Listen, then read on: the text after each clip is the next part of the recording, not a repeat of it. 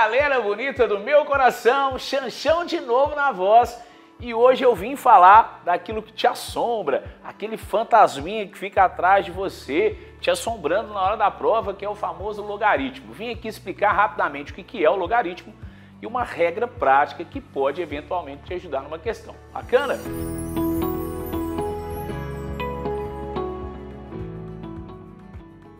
Então é o seguinte, primeira coisa que você tem que saber de logaritmo é que logaritmo é uma operação. Então olha só, se eu estiver te perguntando assim, ó, 2 elevado a alguém dá 8. Quem que eu elevo 2 para dar 8? A gente sabe que é 3 porque o número aqui é bonitinho. Mas a operação que responde isso para você é o logaritmo. É o log de 8 na base 2. Então presta atenção, aprende e treina para você chegar na hora da prova e arrasar. Bacana?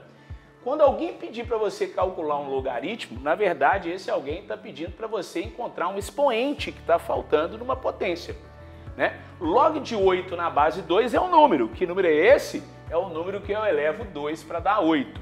Nomezinho para você não esquecer mais. Esse carinha aqui ó, é o logaritmando. Esse carinho que fica aqui embaixo é base. E o resultado C ele é o logaritmo de A na base B, tá? Regrinha para você, lembra? Regrinha da manicure.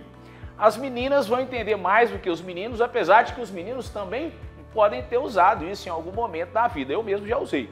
Que é a base. Base não é igual esmalte. Esmalte não é igual a base, mas no logaritmo você vai seguir a regrinha. No logaritmo, base é sempre base. Repete, base é sempre base. Então olha aqui, ó. Se B é base do logaritmo de um lado, do outro lado ele continua sendo base, só que base da potência. Bora colocar em prática? Então calcula aqui para mim, ó. Exemplinho. Calcula quanto que é o log de 25 na base 5. Vou chamar de x. Usa a regrinha da manicure. Base é sempre base. O 5 é base, passa para cá como base.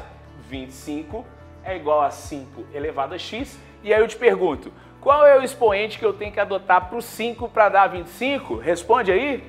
Isso mesmo, 2.